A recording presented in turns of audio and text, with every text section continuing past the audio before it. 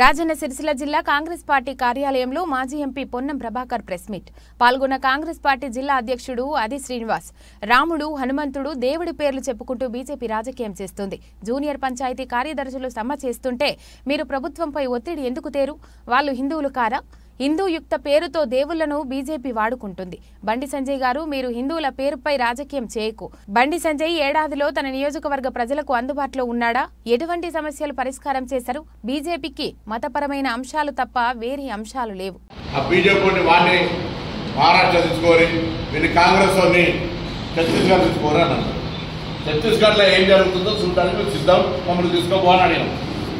ఎందుకంటే నువ్వు వాడు అది అని చెప్పి అడిగితే మేము ఓపెన్గా ఛాలెంజ్ చేసినా మీరు చూసుంటారు. అందరు నేను ఓపెన్గా వీడియో ఇచ్చి వినోదరావు గారు మీరు చెప్పినటువంటి మీకు అసలు మీరు కుసంస్కారం సంస్కారం లేదు మీకు అని చెప్తూనే ఛత్తీస్గఢ్ తీసుకోపోవాలని చెప్పిన. ఒకవేళ మీరు తీసుకుపోవడం మీకు రాదనుకుంటే ఇక వినోదరావు గారి పేరు మీద నా పేరు మీద రైల్వే టికెట్ బుక్ చేసినాం. రమ్మన్నా అక్కడ కారు గిరాయి ఖర్చు అంతా కూడా నాదే గవర్నమెంట్ ఉంది కాబట్టి మేము ముఖ్యమంత్రి మొన్ననే భూపేష్ భూయాల్ ఇక్కడికి వచ్చారు. వాళ్ళ ఆఫీస్కి చెప్పినా సార్ జూనియర్ పంచాయతీ సెక్రటరీస్. గత పద్దెనిమిది పంతొమ్మిది రోజులుగా చేస్తున్నటువంటి సమ్మె ప్రభుత్వం బెదిరింపుల ద్వారా మీరు విరమించకపోతే ఉద్యోగాల నుంచి తొలగిస్తామని హెచ్చరిక చేసినప్పటికీ కూడా తాము చేస్తున్నటువంటి దీక్ష డిమాండ్లు హక్కులు ఏదైతే ఉన్నాయో న్యాయబద్ధమైనాయని మీరు ఉద్యోగాల నుంచి తొలగించినా మేము మా సమ్మెను విరమింప చేయమని చెప్పి కుటుంబ సభ్యులను బెదిరించినా కూడా వాళ్ళు కంటిన్యూ చేస్తున్నటువంటి నిరసన దీక్షలకు రాష్ట్ర కాంగ్రెస్ పార్టీ ఇప్పటికే మద్దతు ప్రకటించింది. ప్రభుత్వాన్ని డిమాండ్ చేస్తోంది నిన్న మొన్న సంబంధిత పంచాయతీరాజ్ శాఖ మంత్రి ఎర్రబెల్లి దయాకర్రావు గారు మాట్లాడుతూ మీరు సమ్మెను విరమించండి. ఉద్యోగాల జాయిన్ కమ్మంటుండు తప్ప ఏ సమ్మె అయినా కూడా మౌఖిక చర్చల ద్వారా ప్రభుత్వము నిరసన చేస్తున్నటువంటి ఉద్యోగ సంఘాల వాళ్ళ చర్చల ద్వారా వాళ్ళ న్యాయమైన డిమాండ్ల పరిష్కారము లేదా తదుపరి వాయిదా వేసైనా అటువంటి ఒక సౌహృద్భావ వాతావరణం లోపల పరిష్కారం కావాల్సినటువంటి ఆవశ్యకత ఈ ప్రజాస్వామ్య వ్యవస్థలో ఉంది. కానీ నియంతృత్వ ధోరణికి నిదర్శనంగా ఏ తెలంగాణ రావడానికి అన్ని రకాలుగా సహకరించినటువంటి ఉద్యోగస్తులు ఉన్నారో వాళ్ళందరినీ భయాందోళనలకు గురి చేస్తూ కంటిన్యూస్గా బెదిరింపులకు గురి చేస్తూ మరి వాళ్ళ సమ్మెను అణిచివేసేటువంటి ఒక ప్రయత్నం చేస్తూ ఉంది. దీన్ని కాంగ్రెస్ పార్టీ తీవ్రంగా ఖండిస్తూ ఉంది.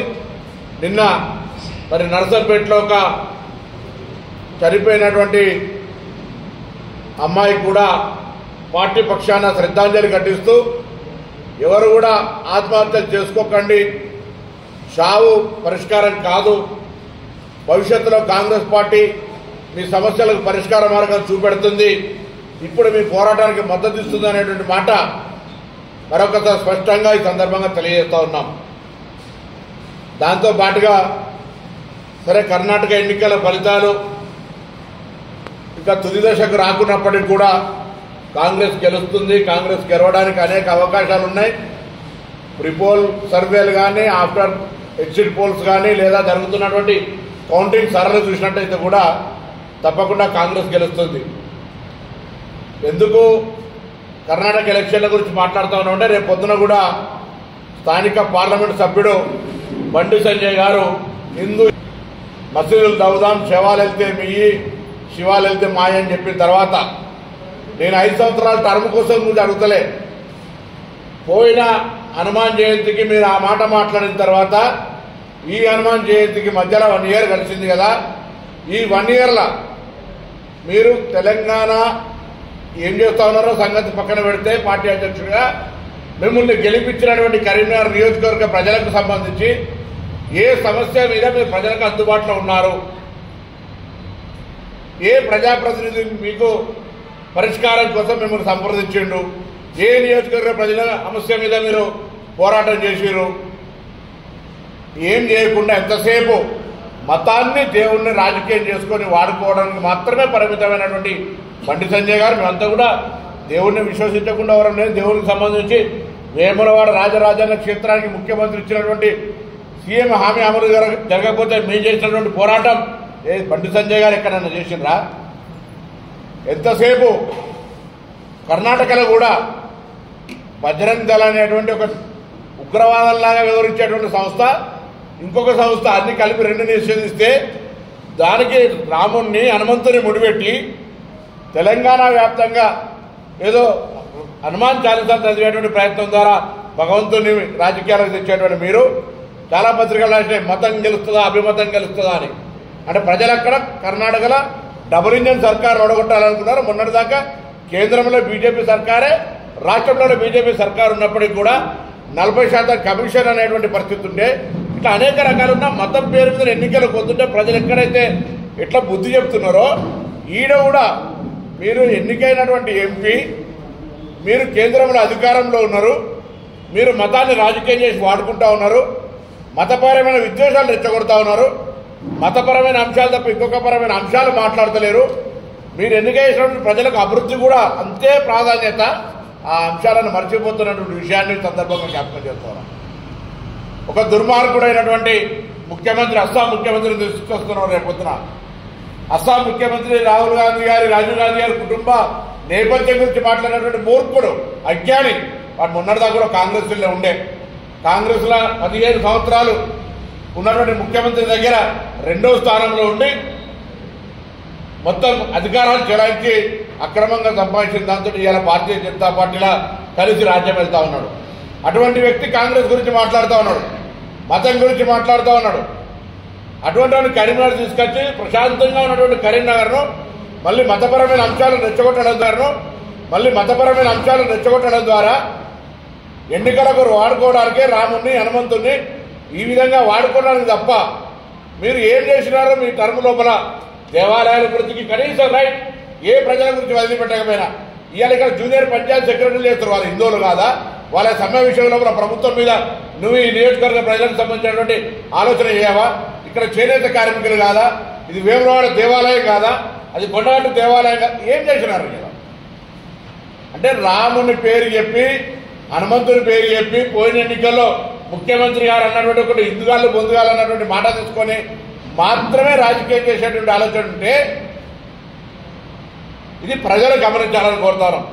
అదేవిధంగా విశ్వ హిందూ పరిషత్ ఇప్పటికే చిన్న హనుమాన్ జయంతి రోజు ర్యాలీ తీసింది. విశ్వ హిందూ పరిషత్ ఎవరు విశ్వ హిందూ పరిషత్ అంటే ప్రతి రాజకీయాలకు అతీతంగా అందరూ పోయేటువంటి అవకాశం లేదు. భారతీయ జనతా పార్టీ మాత్రమే హిందూ ఏకతా పేరు మీద యాత్ర చేస్తారు చేయాలి. అందరూ రావాలంటా ఉంది. భారతీయ జనతా పార్టీ చేసి నువ్వు హిందువులను భ్రమింపజేసే విధంగా రమ్మనంటే ఎట్లా? ఇదే విశ్వ హిందూ పరిషత్ ఆర్గనైజేషనా విశ్వ హిందూ పరిషత్ ఆల్రెడీ ఆర్గనైజ్ చేసేసింది. ఇది బండి సంజయ్ సొంతందుకున్నాము రాష్ట్రంలో ఇక్కడ జరగదు. ఇక్కడ మాత్రమే మతపరమైన అంశాలను తీసుకొని ఓట్ల రాజకీయం చేసుడు వేమలవాడ కూడా మన ప్రోగ్రాం నిన్ననే ఇదే హనుమాన్ జయంతి యాత్ర జరిగింది. అన్ని రాజకీయ పార్టీలు అందరు పట్టణ ప్రముఖులు. అందరు అనుమానం మాలేసుకున్నారు. ఎక్కడ? రాజకీయాలు లేవల్లా. కానీ రేపు తీసేటువంటిది ఓన్లీ అస్సాం ముఖ్యమంత్రి బీజేపీడు నువ్వు చేస్తున్నావు బీజేపీ ఎంపీ ఓటర్లు పెట్టుకుంటారు బీజేపీ దేవుడిని వాడుకుంటారు రాజకీయంగా మీరు. హిందూ ఏకతాయాత్ర పేరు మీద ఓట్లను ప్రేరేపితం చేయడానికి ఎస్. రామ జన్మభూమికి సంబంధించిందో రామునికి సంబంధించిందో హనుమనికి సంబంధించిందో హిందూ ఏకతా యాత్ర అయ్యేదంటే హిందువుల వరకు సంబంధించిన అంశం మీద మాట్లాడు. హిందువుల అభివృద్ధికి సంబంధించిన విషయం మాట్లాడు. హిందూ రేఖ కొరకు మాట్లాడు. కానీ ఎదుటి వాళ్ళని రెచ్చగొట్టేటువంటి విధంగా చెప్తూ దానికి లేని ఒక అట్మాస్ఫియర్ క్రియేట్ చేసి అభివృద్ధి అనేటువంటి ఆలోచన లేకుండా మతమే అన్నం పెడుతుంది అనేటువంటి అనుకుంటే విషయం లోపల ఇది కాదు వాస్తవం కాదనేటువంటి మాట చెప్తూ బండి సంజయ్ గారు నియోజకవర్గంలో హిందువుల పేరు మీద రాజకీయం చేసేసి మానుకొని గెలిచినావు. గెలవకపోతే గెలిచేదాకా హిందువుల పేరు రాజకీయం వాడుకుంటే పర్వాలేదు. గెలిచిన తర్వాత ఇవాళ మీకు కర్ణాటకను బుద్ధి తెచ్చుకొని అయినా కనీసం ఈ హిందువుల పేరు మీద మతం పేరు మీద రాజకీయం చేసే ఆలోచన మానుకోమని చెప్పి కోరుతూ ఇక్కడ నియోజకవర్గంలో ఇవాళ నలభై రెండు కిలోలు చెప్తున్నారు నలభై కిలోల బస్తాకు. దానికి ధాన్యం మొలకలు ఎత్తింది. ఏ సీజన్లో కూడా పట్టించుకోవద్దు. దానికి లేని ఒక అట్మాస్ఫియర్ క్రియేట్ చేసి అభివృద్ధి అనేటువంటి ఆలోచన లేకుండా మతమే అన్నం పెడుతుంది అనేటువంటి అనుకుంటే విషయం లోపల ఇది కాదు వాస్తవం కాదనేటువంటి మాట చెప్తూ బండి సంజయ్ గారు నియోజకవర్గంలో హిందువుల పేరు మీద రాజకీయం చేసేసి మానుకొని గెలిచినావు. గెలవకపోతే గెలిచేదాకా హిందువుల పేరు రాజకీయం వాడుకుంటే పర్వాలేదు. గెలిచిన తర్వాత ఇవాళ మీకు కర్ణాటకను బుద్ధి తెచ్చుకొని అయినా కనీసం ఈ హిందువుల పేరు మీద మతం పేరు మీద రాజకీయం చేసే ఆలోచన మానుకోమని చెప్పి కోరుతూ ఇక్కడ నియోజకవర్గంలో ఇవాళ నలభై రెండు కిలోలు చెప్తున్నారు నలభై కిలోల బస్తాకు. దాని ధాన్యం మొలకలు ఎత్తింది. ఏ సీజన్లో కూడా పట్టించుకోకపోతుంది వడగల్ల వానతో నష్టపోయినటువంటి ఒక్కరు చూడకపోతే నీ కేంద్ర ప్రభుత్వం సాయం చేయకపోతే ఒక రూపాయి ప్రసాద్ పథకం కింద దేవాలయాల గురించి ఒక రూపాయి తీసుకురాకపోతే దానికి లేని ఒక అట్మాస్ఫియర్ క్రియేట్ చేసి అభివృద్ధి అనేటువంటి ఆలోచన లేకుండా మతమే అన్నం పెడుతుంది అనేటువంటి అనుకుంటే విషయం లోపల ఇది కాదు వాస్తవం కాదు అనేటువంటి మాట చెప్తూ బండి సంజయ్ గారు నియోజకవర్గంలో హిందువుల పేరు మీద రాజకీయం చేసేసి మానుకొని గెలిచినావు. గెలవకపోతే గెలిచేదాకా హిందువుల పేరు రాజకీయం వాడుకుంటే పర్వాలేదు గెలిచిన తర్వాత ఇవాళ మీకు కర్ణాటకను బుద్ధి తెచ్చుకొని అయినా కనీసం ఈ హిందువుల పేరు మీద మతం పేరు మీద రాజకీయం చేసే ఆలోచన మానుకోమని చెప్పి కోరుతూ ఇక్కడ నియోజకవర్గంలో ఇవాళ నలభై రెండు కిలోలు చెప్తున్నారు నలభై కిలోల బస్తాకు. దాని ధాన్యం మొలకలు ఎత్తింది. ఏ సీజన్లో కూడా పట్టించుకోకపోతుంది వడగల్ల వానతో నష్టపోయినటువంటి ఒక్కరు చూడకపోతుంది నీ కేంద్ర ప్రభుత్వం సాయం చేయకపోతే ఒక రూపాయి ప్రసాద్ పథకం కింద దేవాలయాల అభివృద్ధికి ఒక రూపాయి తీసుకురాకపోతే ఎందుకు మరి మీరు? అందుకే మతంను రాజకీయాలకు ముడిపెట్టేదని బండి సంజయ్ గారికి హితవు చెప్తా ఉన్నాం హెచ్చరిక కూడా చెప్తాం మీరు ధాన్యం కొట్టలేరంటే అని కూడా అక్కడ సీఎం కార్యాలయం ఒక లేఖ రాసిన. ఈయన రావడం లేదు ఈయన రెస్పాండ్ కూడా అయితే లేడు మరి సవాల్ చేసినప్పుడు నువ్వే కదా నేను కాదు కదా? వాడు వీడు వాడిని తీసుకుపోరు వీడిని తీసుకుపోరు అన్నవా? అరే నువ్వే రా అంటున్నా. నువ్వే తెలియగలవాడివి నేను చాలా చాలా సందర్భాలు అంటా అసలు సరే వేరే రాష్ట్రాలను పోల్చుకునే కంటే తెలంగాణలో ఏం జరుగుతుంది? తెలంగాణలో నువ్వు ప్రభుత్వం వచ్చినాక ఐదు సంవత్సరాలు ఎంపీ చేసినోడు ఈ నియోజకవర్గానికి స్థానికేతరుడు అంటే ఏం చేసినాడు చెప్పమని అడుగుతున్నాం కదా. ఈయన హోదాకు ఇది కాకపోతే విమాన టికెట్లు కూడా కొంటాం. చాలా అట్లనే చెప్పండి. ఏ మా దొర మీరు విమాన రైలు వస్తాడా అవ్వంటే సెకండ్ ఏది? ఎంపీ ఎంపీలకు ఫ్రీ కాబట్టి చేసిన. ఎక్స్ఎంపీలకు కూడా ఫ్రీ. రమ్మంటున్నారు రాకపోతే విమాన టికెట్లు సిరండ చెప్పినట్టుగా విమానం టికెట్లు కొట్టి రమ్మని మీ ముందర సిరిసిల్ల ప్రెస్ ద్వారా సవాల్ చేస్తాను ఆయననే ఎంపీ అభ్యర్థి చెప్పిన కేటీఆర్ గారు మీరు కూడా మీ పార్లమెంట్ సభ్యుడి అభ్యర్థికి చెప్పండి. ఆయన శిష్యులకు ఏం చేసి అని అడిగితే సపోర్ట్ చేయరు ఈ నియోజకవర్గంలో ఉండే చేనేత కార్మికులకు నువ్వు ఐదేళ్ళు ఎంపీ కదా నీ ప్రభుత్వంలో ఉన్నటువంటి నేనేమంటున్నా ఏదైనా మంత్రికి ఇక్కడ సమస్య పరిష్కారం చేయమని రాసి ఆ మంత్రి నుంచి వచ్చిన జవాబు ఒకటి కాపీ రిలీజ్ చేయాలి. ఏ ప్రెస్ కాన్ఫరెన్స్ పెట్టి ఏ సిరిసిల్లకు బాగా నువ్వు కుట్రతోటి ఇక్కడికి రావాల్సినటువంటి టెక్స్టైల్ పార్కును నీ సొంత జిల్లా వరంగల్కు తీసుకుపోయినావు. స్థానికేతరుడివి అని ఇప్పటికి కూడా ఆరోపణ చేసినాం. ఆ ఆరోపణ కట్టుబడి ఉన్నాం.